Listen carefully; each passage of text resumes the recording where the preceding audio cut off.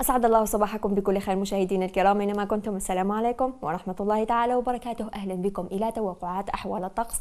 عن حالة الطقس المتوقعة لنهار اليوم بحول الله الاضطراب الذي شهدناه يعني أمسية الأمس على المدن الساحلية الوسطى للوطن. سيمتد خلال الصبيحة على المدن الساحلية الشرقية للوطن وسيكون مرفوق بأمطار خلال الصبيحة ستكون على شكل أمطار متفرقة. أما على باقي الولايات الشمالية الوسطى وصولا بالمرتفعات الداخلية الشرقية للوطن الأجواء فيها ستبقى نوعا ما ملبدة ولكن بدون فعالية هذا مع الصبيحة إن شاء الله في انتظار قدوم اضطراب جوي آخر بداية من الأيام القليلة القادمة. أما على الجهة الشمالية الغربية فالأجواء فيها تقريبا ستبقى من غائمة جزئيا إلى صافية على العموم. نفس الشيء سيميز الجهة الجنوبية مع هبوب رياح تبقى قوية نسبيا ستفو أو ستصل إلى 75 كم في الساعة على منطقة الواحات وصولا بوسط الصحراء. مما سيعمل على تشكل زوابع رملية ورداء في الرؤية. ولكن درجات الحرارة المسجلة لنهار اليوم بحول الله. ستعرف نوعا ما تراجع مقارنة بالأيام الفارطة.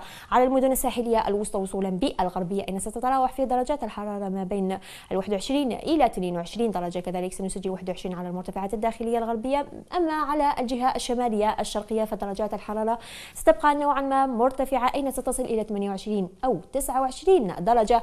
خلال الظهيرة يعني على المدن الداخلية القرب من السواحل الشرقية. أما على السواحل كذلك المرتفعات تتراوح في درجات الحرارة ما بين 25 إلى 26 بالنسبة للجهة الجنوبية. شمال الصحراء وصولا بوسط الصحراء كذلك أقصى الجنوب تقريبا درجات الحرارة فيها تتراوح ما بين ال 25 إلى 44 درجة و44 يعد كأعلى مقياس سيكون دائما بعين جزام فيما يخص حالة الطقس المتوقعة لأمسية اليوم إن شاء الله. بالنسبة لأمسية اليوم اضطراب جوي كما قلنا سيلتحق بالجهة الشمالية للوطن ولكن سيكون نوعا ما متوسط الفعالية. يعني كمية الأمطار المحتمل تساقطها لا تفوق ال 25 ملم محليا وسيميز بالدرجة الأولى الجهة الشمالية الشرقية للوطن ويمتد نحو الوسطى كذلك الغربية وسيكون نوعا ما أقل حدة فيما يخص الوسطى والغربية مقارنة بالجهة الشمالية الشرقية. أما على باقي الولايات الشمالية الأجواء فيها ستبقى ملبدة نوعا ما ولكن بدون فعالية نفس الشيء سيميز الجهة الجنوبية الشرقية كذلك الغربية للوطن. ولكن على إليزي وصولا بالهوغار وتاسيلين كذلك أقصى الجنوب نوعا ما ستشهد هبوب رياح تبقى قوية نسبيا.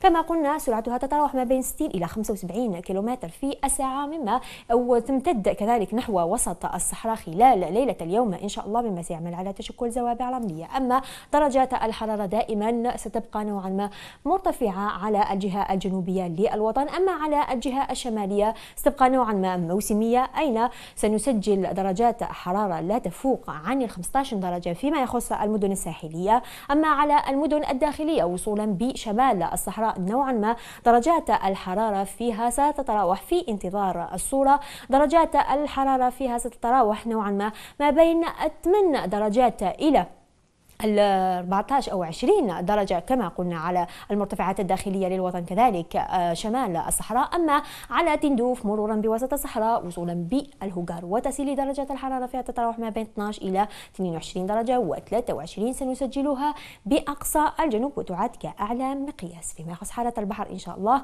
البحر تقريبا خلال الصباح سيبقى نوعا ما قليل الاضطراب إلى هادئ ولكن بداية من ظهير البحر تماما سيبقى هادئ على طول. الشريط الساحلي وسرعة الرياح لا تفوق ال 25 25 كيلومتر في الساعة واستبقى تحت تيارات شمالية غربية إلى شمالية شرقية.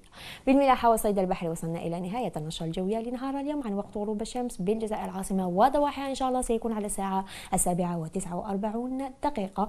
أشكركم على طيب الإصغاء والمتابعة. سأفطركم في أمان الله.